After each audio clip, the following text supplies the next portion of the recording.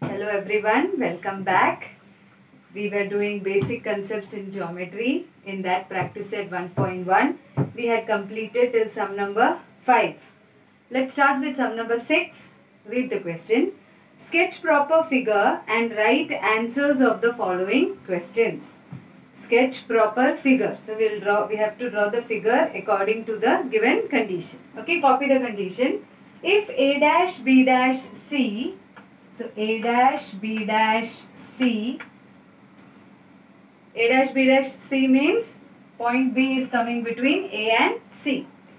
And length of AC is 11. Length of AC is equal to 11. Then we have length of BC is equal to 6.5. Find, then find length of AB. This is the question. Okay. Very simple. Let's start. A dash B dash C. So first you draw proper figure. A and then B and then C. Okay. So A dash B dash C. AC is given as 11. Now according to the figure, solution, write down solution. According to the figure, what can you say about the betweenness property? That is, I can say length of AB plus length of BC length of AB plus length of BC is equal to length of total length will be AC clear? Ah, now add add the lengths. Length of AB plus length of BC is given as 6.5 equal to length of AC also we know 11. So what will be length of AB? Length of AB is equal to 11 minus 6.5. Therefore, length of AB is equal to Therefore, length of AB will be 4.5. Highlight it. That's it. Over first sum. Now, sum number 2. Similarly, we'll solve if r dash s dash t so first draw the figure. R dash s dash t. Okay? St is given length of rs is given find rt look at the figure and write down the lengths sum of the lengths that is length of rs you can put a comma even if you don't put comma no problem. Length between or the distance between r comma s plus length or distance between s comma t is equal to length between first and second point, second and third point will be equal to first and the third r comma t. Substitute the values now. Here if you want you can write the reason as r dash s dash t. From this relation you got this condition. Okay. So from this also we can frame no without drawing the figure but they have asked us to draw the figure, so we will draw the figure. From this condition also you can write RS plus ST is equal to RT. RS plus ST is equal to RT. Uh, substitute the values. RS we know it is 2.5 plus ST we know 3.7 is also given which is equal to length of RT they have not used comma so no, there is no need to put comma. Even if you put comma no problem. Therefore 2.5 plus 3.7 will be 7 plus 5 12 carry 1 5 6 6.2 is equal to length of RT write it this way. Length of RT is equal to 6.2 and put it in a box okay? Moving on. X dash y dash z. So figure x dash y dash z. Write down the condition. Length of xy plus first and second second and third yz is equal to length of first and third point xz correct? Same way you also wrote? Okay. Now look at the given details and substitute. Don't be scared of this root. Very simple to solve huh? Xy we know it is root 7 okay plus length of yz we have to find is equal to length of xz is 3 root 7. Now this will keep as it is. Root 7 will go to opposite side. So length of yz is equal to 3 root 7 minus root 7. Okay. Now here both root 7 root 7. So let us take common. Root 7 will take common. Root 7 I took common. Root 7 root 7 root 7 I took common. So from here if root 7 is removed we get 3 minus root 7 went. So what will remain? Nothing means 1 okay? Now 3 minus 1 is equal to 2 root 7 so you, you got length of y7 as 2 root 7 okay okay now we have the last sum which figure is formed by three non-collinear points? Very simple. If you have three non-collinear points, non-collinear points means points which do not lie on the same line. So if you have three non-collinear points, which figure join? Which figure is formed? You get a triangle. So straight away write down the answer. A triangle is formed by three non-collinear points. Okay, so we have completed practice set 1.1. Now let us go on to some basic terms again. That is, in page number 6, they have given about line segment. Line segment we have discussed earlier. What is line segment? Line segment it has a definite length, you know, the length is fixed. Now, you have learned about sets in maths 1. So, they have used that concept of sets here and explained the line segment as line segment means if you have a line segment like this it is the union union means together. It is the union of point A B and all the points between A and B. Okay? It is the union of points A and B points A and B and all the points which are lying between A and B together makes a segment. Okay? Ah. then when you write about a segment you will write segment AB if you are writing about length you will write length AB is equal to whatever length. Okay? Next we have ray AB A and B are two distinct points the union set of all points on segment AB and the points P such that A dash B dash P is called ray AB here point A is called the end point of ray AB. Uh, how will you explain ray AB? Ray AB will be drawn this way. AB. Only in this figure where A is the end point. This point is called as the end point.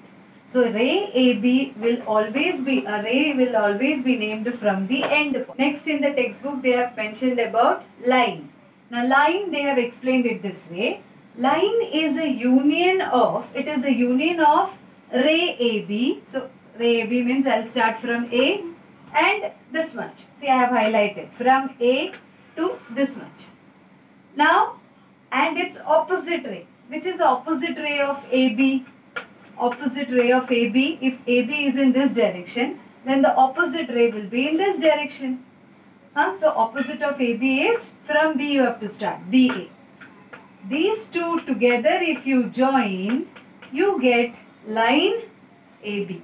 Okay, it's, it's mentioned like that. You don't take much tension, only you should know what is a line. It has no fixed length, extends from both the ends. Okay. Moving ahead, then they have mentioned about congruent segment. Now this you have to know. What are congruent segments? Any two segments whose length are equal. Uh, yeah, this is looking like congruent segments. Yes. Suppose this is xy and this is ln.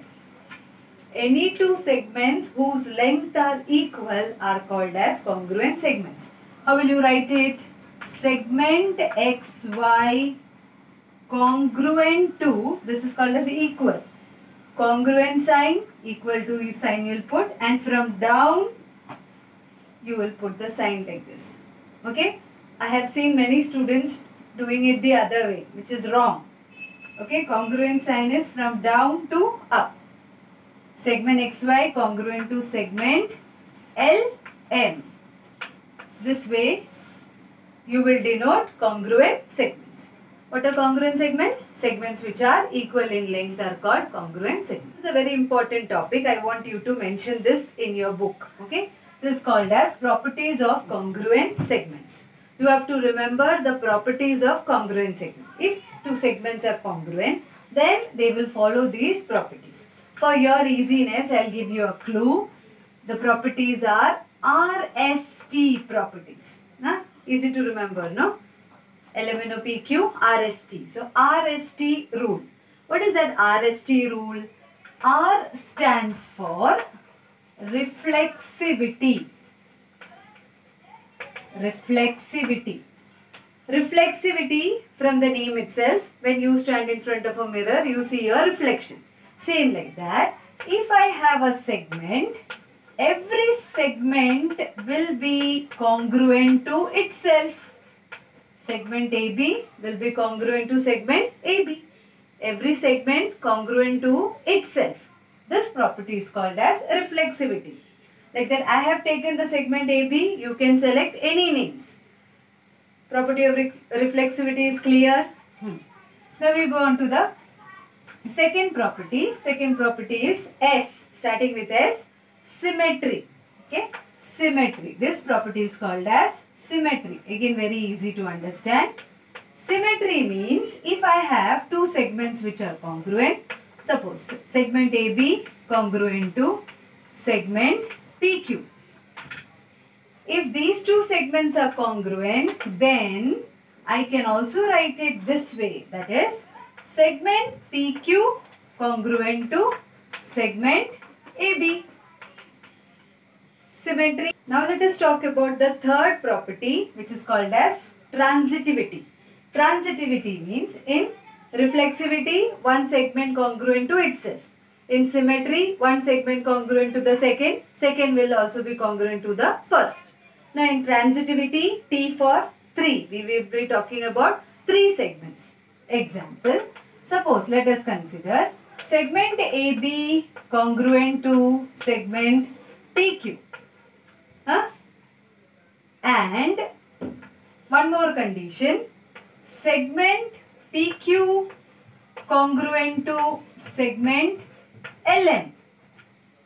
Segment AB congruent to PQ, but PQ is congruent to LM. So can I say that segment AB is congruent to LM? Therefore, segment AB congruent to segment LM. This property is called as property of transitivity. First segment congruent to second, second segment is congruent to a third segment, then the first and third will be congruent. Done? Okay. So these three properties of congruent segments you have to remember. Same thing you can apply for congruent angles also. Think about the first property, reflexivity. Angle A will be congruent to itself. Angle A congruent to angle A. Second property, symmetry. If angle B is congruent to angle A, then angle A will be congruent to angle B. Transitivity will be angle A is congruent to angle B, angle B is congruent to angle C. So angle A and angle C both will be congruent. Easy, no? Ah. So this you have to mention it in your book with example. Okay? Ah. Now the midpoint of a segment. Midpoint of a segment. I have a segment, suppose. I'll name it as uh, PQ. If I have the R as the midpoint, R is the midpoint of segment PQ. How will I write it? P dash R dash Q. By writing P dash R dash Q, this doesn't mean that R is the midpoint. This gives us the meaning that, what is the meaning conveyed? That R is between P and Q. How will you show that R is the midpoint? For this, you have to write length of PR is equal to length of RQ. If I give this condition, length of PR is equal to length of RQ, then I can say that R is the midpoint of segment PQ. Okay. Therefore, point R is the midpoint of midpoint of segment PQ. More thing you can show here, if PR is equal to RQ, I can also write this as, if PR is equal to RQ, I can also write this as half of PQ, no? So, PR, RQ will be half of PQ. If R is the midpoint, then I can say that PR or RQ will be half of the whole segment PQ. We completed practice set 1.1 and then we saw few more concepts regarding geometry, regarding the congruent segments, how to write midpoint. Okay. Now in the coming next class we will be solving practice set 1.2. Till then you should be thorough with practice set 1.1. Okay. Till we meet for the next time. Bye. Thank you.